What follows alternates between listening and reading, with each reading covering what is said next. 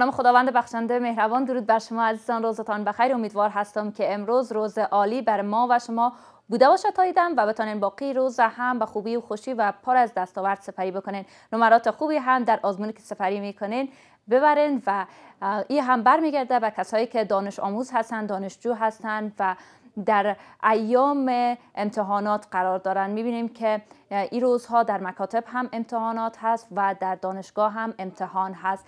و این امتحانات به نفع همگی ما و شما هست و انشالله که با نمرات خوبی بتونین که پارچه کامیابی را از آن خودتان بسازین. در ارتباط با همین موضوع بیشتر امروز صحبت می‌کنیم. موضوعی که برمیگرده به بحث امروزی ما اهمیت آزمون در پروسه آموزش هست. از تاثیرگذاری ها صحبت می‌کنیم. ای که کسایی که دانشجو هستن کسایی که دانش آموخته هستن و این مرحله رو سپری کردن شاید به ذهنشون ای باشه که مرحله آزمون در دانشگاه می‌تونه که خیلی دشوار باشه یا در دوران مکتب می‌تونه خیلی دشوار باشه و اصلا منفعتی برای ما نداره. این ذهنیت ها وجود داره. می‌خوایم در ارتباط با همین موضوع وضاحتی را داشته باشیم و در ارتباط با همین موضوع بیشتر جزئیات بپردازیم که چه موارد تاثیرگذار می‌تونه باشه در ایراستا جناب استاد بزرگوار هم در این بحث با ما هستن. جناب استاد شمس غزنوی استاد روانشناسی و صحبت ها را با ایشان ادامه میتیم می داشته باشیم گفتنی هایشون اما قبل از او پلای ارتباطی برنامه رسم زندگی رو براتون یادآور میشم. 022 شما رو تماس که شما رو مستقیما با برنامه وصل می‌سازه. اگر پرسشی داری می‌تونید در جریان بگذارید. 488 بعد از او کلید 47 و همچنان در کنارش. رخنامه یعنی صفحه فیسبوک ما هم در اختیارتان هست. می‌تونید که صفحه ما را فالو بکنین یعنی تعقیب بکنین و موضوعاتی که به اشتراک گذاشته میشه از طریق شما تعقیب بکنین و پیام هایتون ارسال بکنین. و تمام این پیام ها ارج گذاری میشه و مد نظر گرفته میشه. می‌خوام که در ارتباط با موضوع برنامه هم از استاد بزرگوار تمام موضوعات جویا شیم وقت شما بخیر. خیلی خوش اومده زنده باشین. تشکر از شما و امیدوار هستیم بینندای عزیز شنوندای گرامی و کسایی که در همین روزا دست و پنجه نرم می‌کنن با امتحانات آزمون ها گپ های ما را بشنون و به دردشان بخوره از این استفاده مثبت کرده بتانند. بله. با همین امیدواری آغاز می‌کنیم به نام خداوند جان و خرد که از این اندیشه برتر نگذرد. نخست از همه با کلمه امتحان و امثالش ضرب المثل ها خاطرات گفته های بسیار زیاد و فراوان در فرهنگ های مختلف و متعدد وجود داره. مثلا گپی هست میگن که کسی را یکی از قهرمان ها را می‌خواستن به جنگ احوال بتن گفتی رو وقتی از خواب بیدار کردن گفت مرا قوار خطا کردی من خیالم که امتحان است. البته با همی گپ می‌پردازیم به ای که آزمون ها و امتحانات یک ارزشیابی خاص از عملکردها و رفتارهای فرد یا یک شاگرد است. بله دقیقا. میشه که یک معنای دیگر هم بگیم که ارزشیابی عبارت از قضاوت در کیفیات و کمیات عملهای یک فرد. ما می‌تونیم که ارزشیابی بگوییم. در مجموع به خاطر از این ما آزمون ها و امتحانات با ارزشیابی آغاز کردیم که اساسا ارزشیابی یک موضوع کلیات در خصوصیات کیفیتی و خصوصیات کمیتی یک فرد است که او به طریقه های مختلف به دست میاد قضاوتی می‌تونه تنها به خود فرد بر بگرده یا به تمام افرادی که در همون محیط درس می‌خوانن آموزش می‌خوانن و پروسه های آموزشی. بله به تمام کسایی. حتی ما دو جنبه می‌تونیم در نظر بگیریم. دی پروسه یک جنا معلم است که ارزیابی می‌کنه. بله. استاد است که ارزیابی می‌کنه. جنبه دومش شاگرد است که او آمادگی می‌گیره. او تلاش می‌کنه. او به حساب زحمات شباروزی را متحمل میشه تا ای که از تلاش های خود یک ماحصل خوب و درست به دست بیاره که او را ما نامش کامیابی میگیم. البته اساسا ارزشیابی و امتحانات معنای واقعیش تو نیست که ما بگیم که معنای امتحانات کامیابی و یا ناکامی است. بله. که متاسفانه کمی امروز میشه. بالکل شما وقتی من در پنتون میرم شاگردا فقط از این گپ می‌زنن که نمیگن که استاد من چطور بودم؟ استاد من موضوع را خوب تحلیل کردیم. شاگردا میگه استاد ما کامیاب شدیم یا ناکام؟ پاس شدیم نشدیم.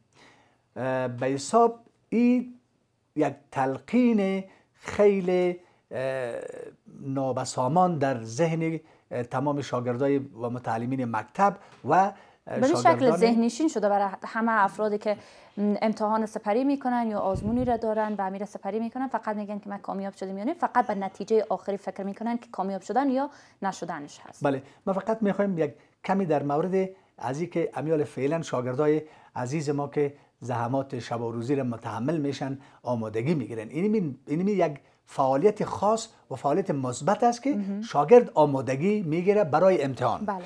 در حالی که مدت ها قبل استاد می کار می‌کرد آمادگی می‌گرفت برای یاددهی شاگرد. حال اینا پس بر یادگیری های خود از امو چیزایی را که از استاد گرفتن حالی را دوباره پس برای استاد میتن که میشه ما یک پروسه امتحان به نام چی بگیم به نام درون سازی فرایند و یا جریان عمل و یا هم بیرون سازی. در جریانی که استاد در طول یک سال یا یک سمستر برای شاگردای خود تدریس می‌کنه شاگرد درون سازی می‌کنه. اندوخته های خود زیاد می‌سازه و او را در تحلیل های قبلی دانش های قبلی خود او را یک تچ می‌کنه آزمایش می‌کنه و در محک آزمایش قبولش می‌کنه یا رد می‌کنه. اما امروز یا بازدهی دارن از چیزهایی که در جریان سال گرفته. ما دو نوع روانشناسی دو نوع آمادگی را مورد بحث قرار میتم میگن یکی از آمادگی ها ما آمادگی های مغزی یک جوان است یا یک محصل است یا بله. یک کودک است که این ما از لحاظ مغزی توانایی های شان چقدر بالا رفته؟ آیا آمادگی برای از یاد گرفتن دارن ندارن؟ آمادگی های ذهنیشان سلول های عصبیشان رشد کرده یا نکرده؟ این یک نوع آمادگی جسمی است که به دست خود ما نیست به دست طبیعت است یا طبیعت بدن ماست. موضوع دیگه آمادگی های امروز است که ها تلاش می‌کنن از محیط از کتاب از استاد از کتابخانه ها می آموزن و پس ایره آماده می‌کنن تا برای استاد خود بازدهی کنن این آمادگی های دیگه است که در حقیقت در اینمی پروسه ما قرار داریم بله. که به خاطر از این سالها یاددهی کرد. امروز یادگیری ها را پس جمع می‌کنه ادامه صحبت ها را استاد بزرگوار از شما میشنویم و در مورد تاثیرگذاری هاش که چرا ما باید پروسه امتحانات سپری بکنیم. می‌خوایم که دریافت بکنیم. پاسخش از شما و شما هم بیننده باشین. 022 هم در اختیارتان هست. اگر پرسشی داریم می‌تونیم به استاد گرامی در جریان بگذارین میان برنامه. موضوعی که مطرح شد یعنی پرسشی که از استاد بزرگوار پرسیدیم و می‌خواهیم که فعلا هم در ارتباط با پرسش پاسخ را دریافت بکنیم چرا آزمون گرفته میشه؟ آیا گذاری داره در پروسه آموزشی یا نه؟ می‌خوایم که جوابش را دریافت بکنیم. بفرمایید استاد. بله چرانی بسیار می‌خوایم که گپای بسیار زیاد ما نمانه در برنامه.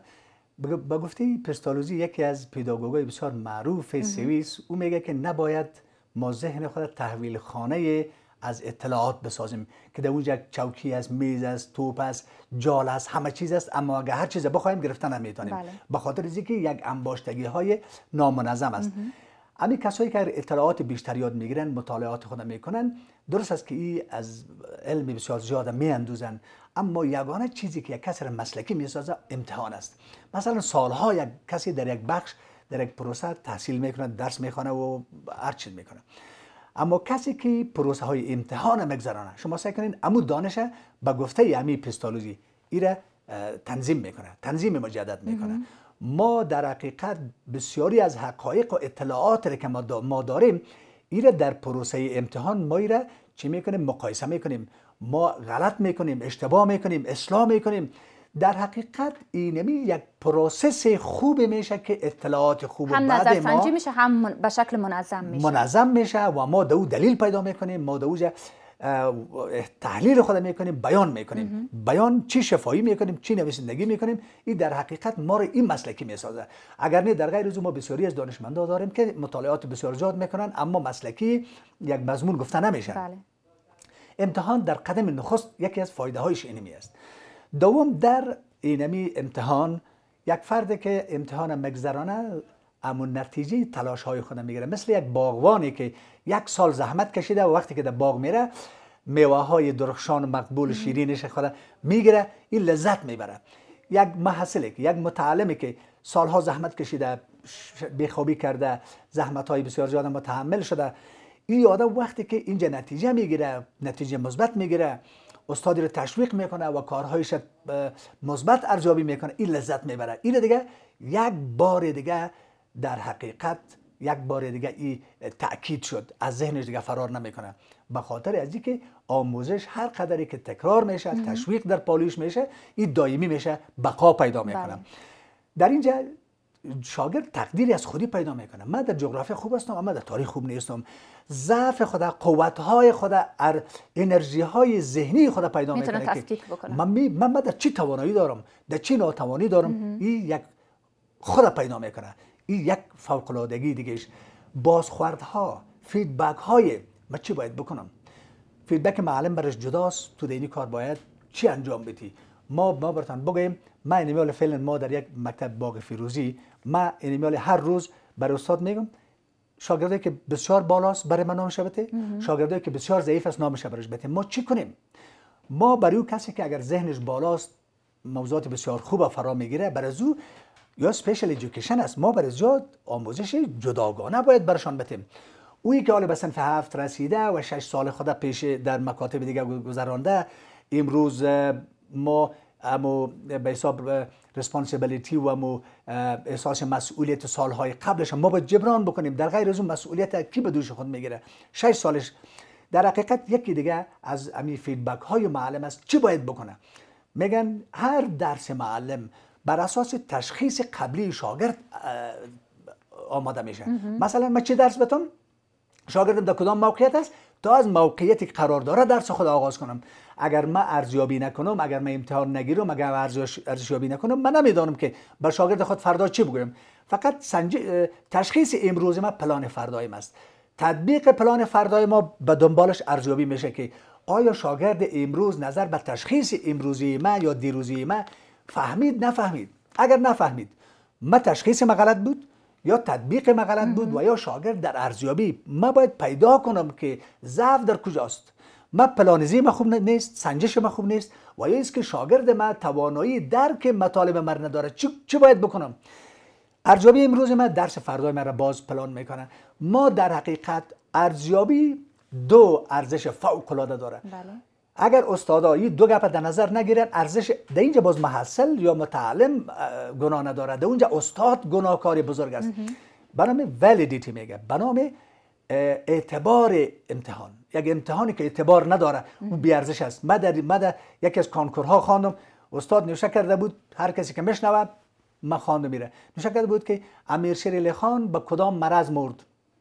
این امی برای شاگرد مرا استاد بگوید کدام عینیت علمی رو برش میته به مرض قلبی مرد به مرض سرطان مرد به هر مرضی که مرد بالا به پس یک مرده که مرده که حال ما سر از او شاگرد ببین ما چی باید از شاگرد خود بگیریم؟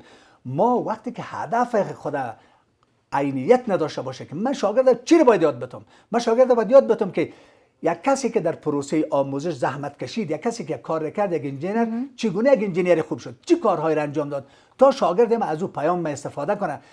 و در آینده او سرمشق خود قرار بده ما اگر امتحان ما طوری است بله. که اهداف ما را برآورده نمی‌کنه. دیگه شاگرد قطعا اینجا یعنی گفتم می‌تونه که پروسه آزمون می‌تونه در پروسه آموزش تاثیرگذار باشه. از نگاه ای که خود استاد هم ارزیابی شود و هم درسی که بر شاگرد داده هم خود استاد ارزیابی میشه و هم بله. شاگرد ارزیابی میشه. چرا نمی‌تونیم بعضی اوقات وقتی که آزمون سپری می‌کنیم نتیجه مطلوب حاصل کنیم؟ خب یک گپی دیگه من دیگه ریلیبیلیتی میگه. ریلیبیلیتی پایداری در امتحان. شما پیشتر بر ما گفتین که مثلا ما چرا از امتحانات میترسیم؟ به خاطر از که امتحانم استاد استاد در نظر شاگرد برش بابا جور کرده که در امتحان ناکام میمونی در امتحان تو پاس نمیشی تو در امتحانی ترقم نمیشی. امتحان باید ریلیبلیتی داشته باشه. این چه مستمر باشه دائمی باشه. سوال استاد یک امتحان است پیشانی استاد پیشانی شاگرد امتحان است. ما وقتی که شاگرد خودم می‌بینیم ما باید از سیمایش از ابرویش از چشمش ما بدانیم که شاگرد ما در کدام پروسه مشکل داره؟ یاد گرفته نگرفته؟ این هر روز ارزیابی ماست. امتحانات متعدد داشته باشیم. ما اگر فقط منتظر میمانیم که در امتحان چهار ما امتحان داریم در امتحان سالانه امتحان داریم. برای شاگرد این یک یک پرابلم بسیار بزرگ ذهنی است. ما هر روز شاگرد خود در در جریان آزمون قرار بدیم. ارزش هایش برش بگیم خوبی هایش برش بگیم غلطی هایش برش بگیم. شاگرد در امتحان دیگه هیچ حراس نداره. میدانه قوت خود میدانه ضعف خود. این دو چیزی را که من گفتم باید آماده باشن به باید که آزمون سپری بکنن. بله. باید استاد امتحان استاد باید هدفمند باشه. قابل فهم باشه. اگر سوال استاد قابل فهم بود شاگرد فهمید که استاد از من چی می‌خواه بله. این استاد امتحانش قابل درک است. این شاگرد دیگه اگر یاد نداره گناهش است. دوم هدفمند باشه. هدفی که در کتاب است اون امور بیان کنه. مثلا ما درس یک شعری از ادبیات می‌خوانیم یا یک موضوع تاریخ می‌خوانیم. در اونجا استاد هدف داشته باشه که ما بدانیم که ما در زمانی که یک امپراتوری بزرگی که در افغانستان ما داشتیم اینمی از چی متشکل بود؟ از اتحاد ما از همبستگی ما از عدم قومیت پرستی نبود زبان پرستی نبود.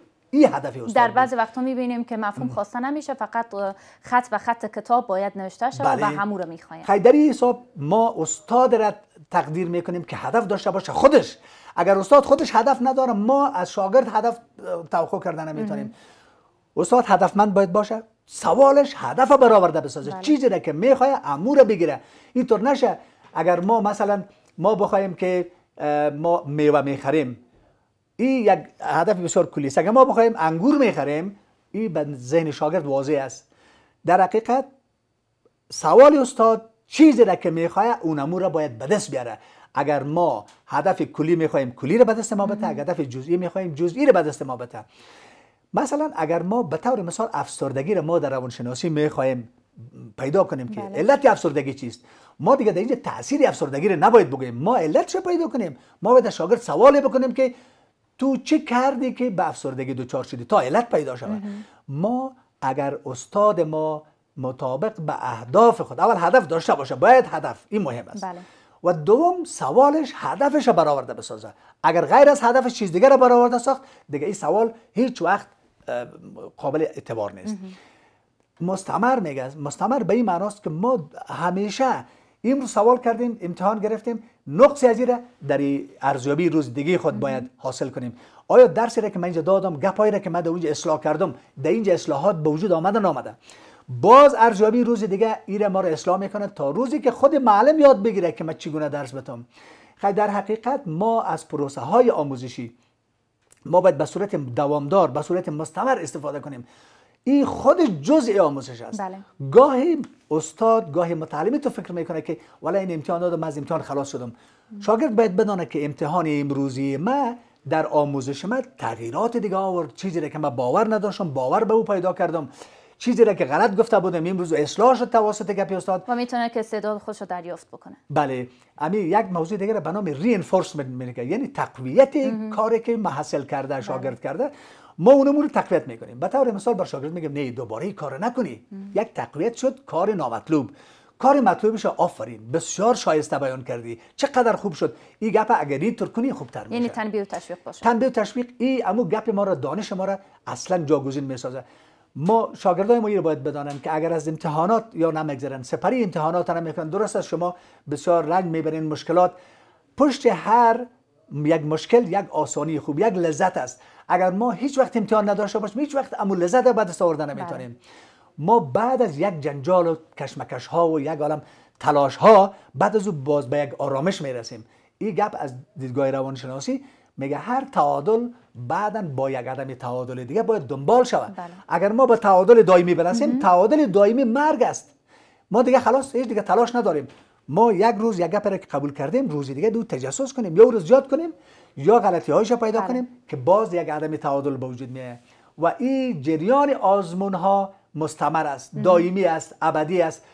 تا که ما اگر توانایی های آموزشی را تحول در وجود خود داشته باشیم. باید به امتحانات خود دچار پرسش دیگه که مطرح میشه استاد بزرگوار برمیگرده به ای که مدت زمانی که بین آزمون ها مد نظر گرفته میشه باید حد اوسطش چقدر باشه.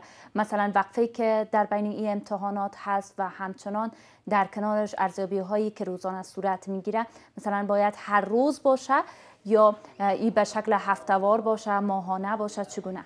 می‌تونم بیشتر تاثیر گذار بله. باشه ما یک چیز در اینجا باید واضح بسازیم که به نام ارزیابی یا اولویشن اولویشن به معنی ارزش ها را پیدا کنیم ارزش های شاگرد پیدا کنیم بله. این دوامدار است این هر روز است استاد از چهره شاگرد خود از ابروی شاگرد خود از رفتار شاگرد خود از صحبت کردنش هر روز پیدا می‌کنه که احمد در چی مشکل داره. که در مکاتب بیشتری مد نظر گرفته میشه که ارزیابی های روزانه وجود داره. اما در دانشگاه فکر نکنم چنین مورد وجود داشته باشه که هر روز ارزیابی شوه و یا با شاگرد یا همو دانشجو بیشتر صحبت شود بله یکی موضوعی است که در داخل چوکات آمده در مکاتب داخل چوکات آمده که نام یک نفر نوشته میشه و هر روز ارزیابیش بله. تک مارک می‌کنه یا دو نمره میته یک نمره میته.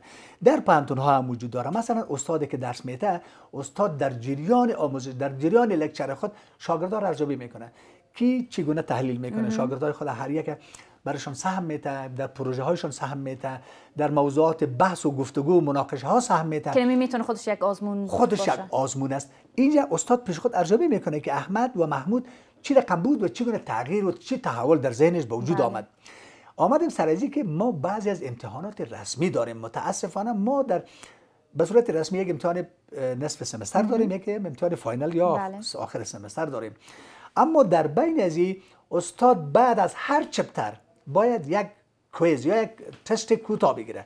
یک امتحان بگیره که شاگردا امی موضوعات دریافتن یا نیافتن. یا در آغاز یک چپتر برای شاگردا سوال میته که شما در مورد چی فکر می‌کنین؟ به خاطر از اینکه بر یک تعداد نکات بسیار مهم نکات بسیار کلیدی برای شاگردان یک کیو داده شود یک هوشداری داده شود که این موضوعات قابل دقت است. شاگردان متوجه میشن تا معنای از تا تشریح از پیدا کنن. خودشان و بعدا به گپ های استاد رو مقایسه می‌کنن. آیا اینا چگونه فکر کرده بودن؟ استاد چگونه برشان این توضیح میتن بله. بعضا بهترین شاگردای ما کسایی هستند که اینا در پهلوی ازی که گپای خود و گپای استاد مقایسه می‌کنن تحقیق می‌کنن به اینترنت میرن به کتابخانه ها میرن گپای جدیدی رو پیدا می‌کنن که استاد ولد این مورد من گپ دیگه هم پیدا کردم و هم ما در بعضی از کتاب ها خلاصه داریم که این خلاصه خودش در بعضی اوقات سوالاتی رو داره که او بیان میشه و بله. شاگردها ارزیابی میشه که همین چپتر یاد گرفته شد یا نشد و از این چپتر به چپتر دومی که میشه ما این مرحله رشد یک کتاب بگوییم از یک مرحله به مرحله دیگهش گذار کردیم. یعنی میشه که ما تست های در هر آخر هر چپتر داشته باشیم. میشه در یک سمستر سه بار یا چهار بار با تست های کوتاه مواجه بسازیم شاگرد. بعضی از سوال های بعضی از تست های بسیار آنی است. دفعتا به شاگردا یک چند بله. سوال داده میشه شما دیگه بار چی فکر می‌کنین؟ هر کدامتون حل کنین زود بر ما بیارین. استاد می‌خواد که در یک مورد ارزیابی کنه که شاگردا در این قسمت طرز تفکرشان بینششان چی رقم است؟ بله.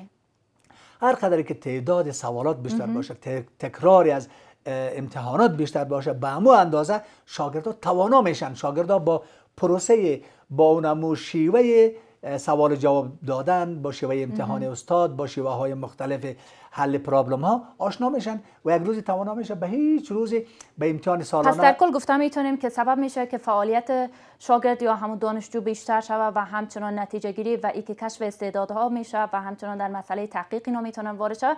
و همین استرس و مشکلاتی که در ذهنشان هست دیگر کاملا برطرف میشه در صورتی که آزمون به گونه هدفمند و فعالیت از طرف شاگرد و استاد از هر دو طرف صورت بگیره. ممنونتون استاد بزرگوار از اینکه در برنامه تشریف آوردین.